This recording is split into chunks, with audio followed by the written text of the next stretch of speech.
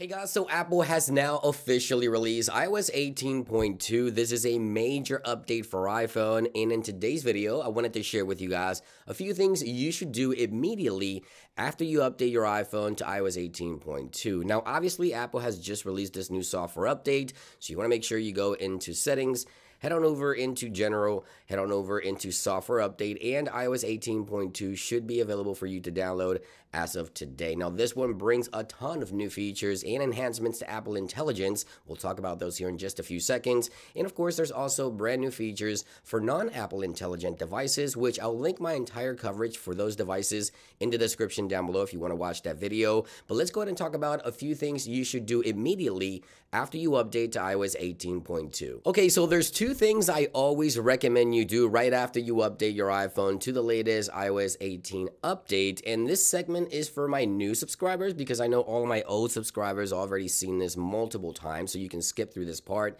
But all my new subscribers, the first Two things I always recommend everyone to do is number one, you want to make sure you head on over into the App Store right after you update, and then you want to tap on your account right here on the top right portion, and then you want to hold and swipe down to refresh and see if there's any third-party app updates available for you. As you can see right there, right after I updated, there's new app updates. Obviously, you want to make sure you update all your applications so that you can avoid any issues or crashing or freezing of apps. There's been issues in the past where third party applications have caused overheating and freezing. So you want to make sure that you update your third party applications right after you update your iPhone to the latest iOS 18.2. Now, something else I always recommend is that you jump into settings head on over into general, go into the about section, and some of you may see a pop-up on this section here with a new carrier update. Now, not everyone will see a new carrier update, but if you see a carrier update, you want to make sure you update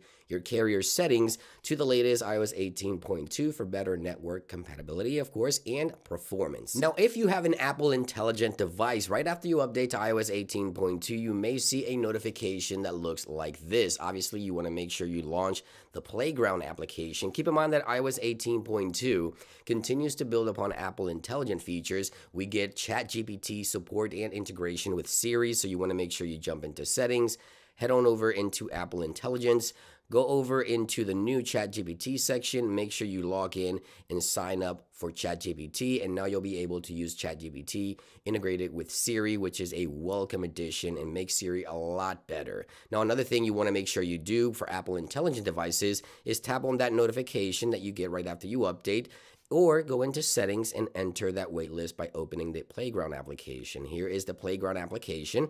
This allows you to create custom images on your iPhone. Click continue. And right here, you can use a description to create an image on your iPhone. Now, obviously, this will also give you the Genmoji, which a lot of users really wanted. So in order to use Genmoji on your iPhone, all you have to do is jump into the actual right here messages application.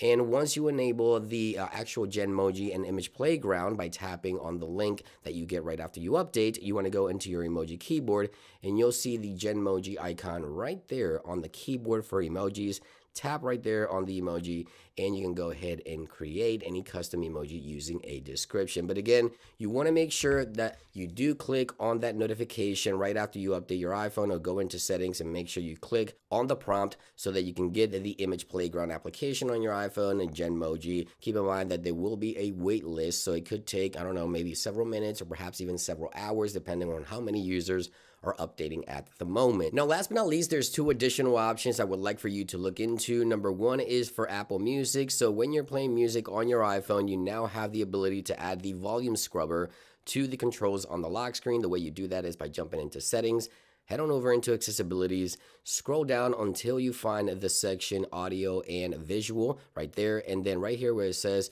always show volume controls. Make sure you enable that. And now you'll have the volume scrubber right there on your actual controls for the music on the lock screen. I know many users really wanted that. Apple has just added that to iOS 18.2. Now, visual intelligence is officially here with iOS 18.2. You can long press on the camera controls for iPhone 16 and 16 Pro and bring up the new UI. Obviously, this allows you to take pictures of something in order to give you a description or identify something, but you can also use it to point your camera at a restaurant or something like that or a location to get, you know, directions or the phone number. If it's a restaurant, you can get the menu and things like that. But if you want to make it better, you want to jump into settings here. You want to go into the privacy and security section on your iPhone right here. There it is. And then you want to go into location services and then go into the visual intelligence options right here.